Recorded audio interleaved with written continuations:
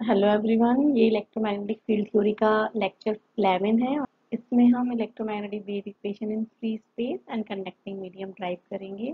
बल्कि free space की equation drive करेंगे। कंडक्टिंग मीडियम की मैं आपको कंडीशंस बताऊँगी और आप वो खुद ड्राइव करके देखिएगा और नहीं हो तो कमेंट सेक्शन में पोस्ट करिएगा। तो क्वेश्चन देखते हैं। क्वेश्चन क्या क्या है? Prove that the velocity of plane electromagnetic wave in vacuum is given by c equal to 1 upon under root epsilon naught mu naught. Write down Maxwell equation in free space and using these equation drive wave equations for both electric and magnetic field. Drive the electromagnetic wave equation from Maxwell field equation in free space. Show that electromagnetic wave travel in the free space with the velocity of light. Two Maxwell equations are divergence D equal to rho, equation first है, दूसरी है divergence B equal to zero, third है curl E equal to minus del B over del t और fourth है curl H equal to J plus del D over del t अब हम क्या करेंगे, ये हमने सिंपल मैक्सवेल इक्वेशन लिख लिया। अगर हमें फ्री स्पेस में वेव इक्वेशन कैलकुलेट करना है तो इन मैक्सवेल इक्वेशन को फ्री स्पेस में रिड्यूस कर देंगे। कंडक्टिंग मीडियम में करना है तो कंडक्टिंग मीडियम में इन इक्वेशंस को रिड्यूस कर देंगे। नॉन कंडक्टिंग में करना है तो नॉन कंडक्टिंग में उनको कन्वर्ट कर लेंगे और उसके अकॉर्डिंग हम फिर वेव इक्वेशन कैलकुलेट कर लेंगे वेव इक्वेशन कैलकुलेट करने का तरीका सेम वही प्रोसेस जो आप फॉलो कर रहे हैं सेम वही मेथड वही प्रोसेस हम फॉलो करेंगे। तो हम वेव इक्वेशन निकालने के लिए क्या करते हैं इक्वेशन थ्री और इक्वेशन फोर के कर लेते हैं और उनको सिंप्लीफाई करते हुए सॉल्व करते हुए चलते हैं। तो हमारे पास लास्ट में डिफरेंशियल इक्वेशन आ जाती है ई e और एच की टर्म्स में। हम फ्री स्पेस में रिड्यूस करेंगे। तो we know that in free space हम जानते हैं फ्री स्पेस में volume charge density rho zero होती है। सरफेस चार्ज डेंसिटी सिग्मा भी ज़ीरो होता है। तो जब सिग्मा ज़ीरो होगा तो जे भी ज़ीरो होगा, क्योंकि जे क्या होता है? सिग्मा डॉट ई तो जब सरफेस चार्ज डेंसिटी ज़ीरो है तो जे भी ज़ीरो होगा। उसके अलावा डी को हम इलेक्ट्रिक फ़ील्ड की टर्म्स में डी क्या है हमारा? डिस्प्लेसमेंट इलेक्ट्रिक वेक्टर इसको इलेक्ट्रिक फ़ील्ड की टर्म्स में क्या लिख सकते हैं? D equal to epsilon naught E और flux density, magnetic flux density B को हम लिख सकते हैं म्यू नॉट एच एच क्या है? Electric field intensity epsilon naught और म्यू नॉट जो है permittivity and permeability of free space है। ठीक है? तो इन कंडीशंस को हमें इन चारों वेव इक्वेशन में रखना है। तो क्या रखेंगे? देखिए।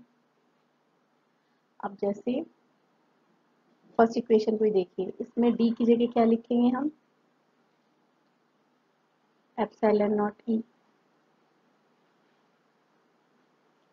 रो की जगह ज़ीरो तो ये इक्वेशन बन गया फ्री स्पेस में।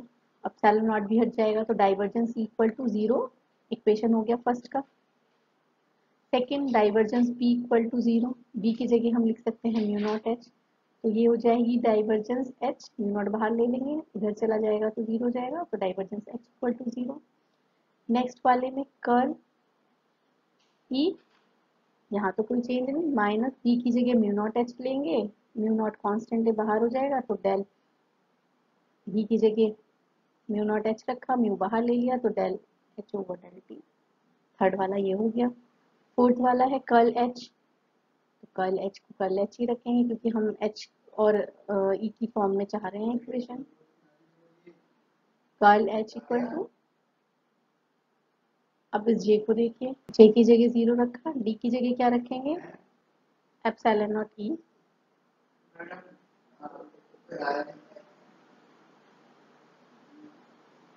तो फ्री स्पेस की कंडीशन अप्लाई करने के बाद मैक्स इक्वेशंस अभी मैंने बताया चेंज हो जाएँगी। तो कौन कौन सी चेंज होंगी? फ़र्स्ट इक्वेशन हो जाएगी divergence epsilon naught equal to zero epsilon naught भी इधर चल जाएगा। तो हम इसको लिख सकते हैं डाइवर्जेंस इक्वल टू ज़ीरो और divergence equal to zero fifth equation हो जाएगी नेक्स्ट इक्वेशन हो जाएगी divergence mu naught H equal to zero और इसको हम लिख सकते हैं divergence H equal to zero curl equal to minus del mu H over del T तो म्यू नॉट बाहर हो जाएगा, इसको लिख सकते हैं curl E minus mu naught del H over del T. Next हो जाएगा curl H equal to del epsilon naught E over del T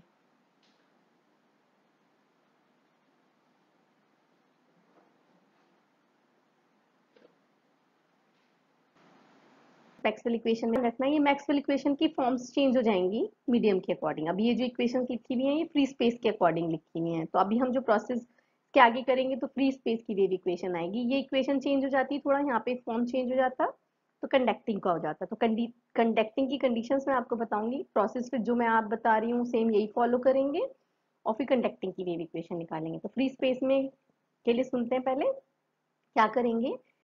equation seven का आप कर्ल निकालेंगे। इसको एक बार फिर कर लेंगे। तो जो वेव इक्वेशन निकल कर आएगी, वो ई e की टर्म्स में आएगी। और अगर हम इक्वेशन एट का कर्ल लेते हैं तो वेव इक्वेशन एच की आएगी। और फिर उसको हम मैथमेटिकली सॉल्व करेंगे। कंडीशंस जो भी उसमें अप्लाई हो सकती हैं तो देखते हैं क्या किया हमने taking the curl of equation seven तो कैसे कर्ल लेते हैं? इसके आगे कर्ल कर्ल लिख लेंगे। कर्ल मतलब डेल क्रॉस तो curl curl equal to curl minus mu naught del H over del T इस इक्वेशन में। अब अगर इसमें आप ध्यान से देखें म्यू नॉट कॉन्स्टेंट था तो बाहर आ गया था।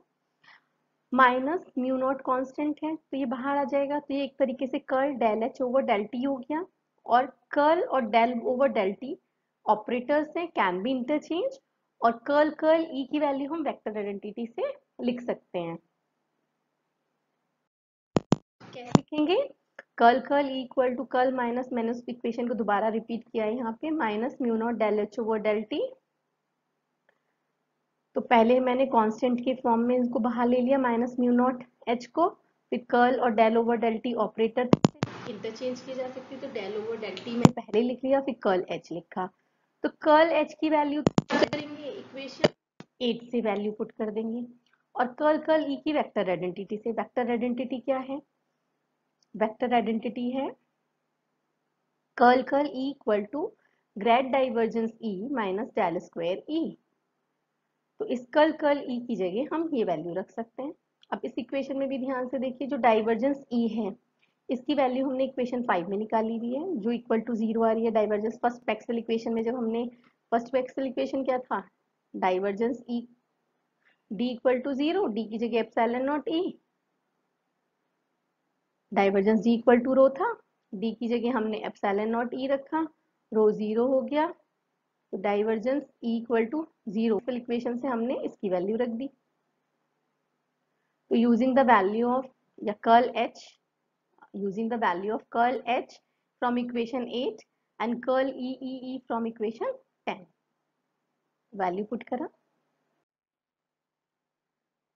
तो grad divergence E minus del square E minus equal to minus mu naught del over del T epsilon naught del E over del T अब इस एप्सैलन नॉट को भी बाहर ले लेंगे तो म्यू नॉट एप्सैलन नॉट आ जाएगा। और यहाँ पे इसकी जगह ज़ीरो रख देंगे तो ये minus del square E equal to minus mu naught epsilon naught del over del T del E over del T ये स्क्वायर हो जाएगा। तो माइनस माइनस कैंसिल हो जाएगा।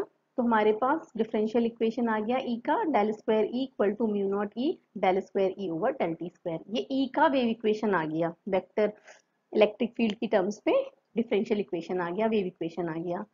सिमिलरली हम एच वाला कैलकुलेट करेंगे। एच वाले के लिए क्या करना है? अभी मैंने सेवन का कर लिया था। सेम इसी प्रोसेस से आप इक्वेशन एट का कर लेंगे।